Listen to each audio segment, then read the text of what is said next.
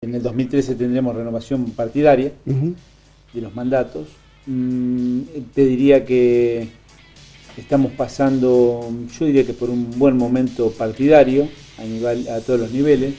Creo que hay este, bastante movimiento y actividad, creo que hay una, una actividad de, líneas internas. Este, creo que desde mi, opinión es que hay una serie de líneas internas este, o de movimientos, hay una como una nueva estructura dentro del peronismo o dentro del Frente para la Victoria, porque yo creo que es un movimiento más amplio, eh, una nueva forma de organización basada en, movimientos eh, políticos, organizaciones políticas dentro de un esquema general que eh, en lo personal me gusta, en lo personal creo que le dan riqueza, creo que hay este, muchas, muchas fuentes que yo, que se potencian, que, creo que le hace bien a la política y creo que le hace bien en especial al peronismo y al Frente para la Victoria. Falta mucho para marzo, pero ¿te gustaría seguir o no lo has analizado? No, no, no, no, es un, sinceramente no es algo que me planteo. Creo que como nunca, nunca me he planteado mi,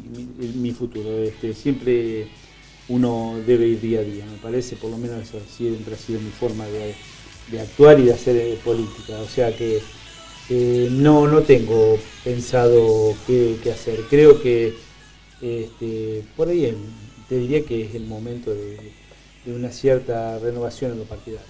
¿En Trenquelauquen en particular?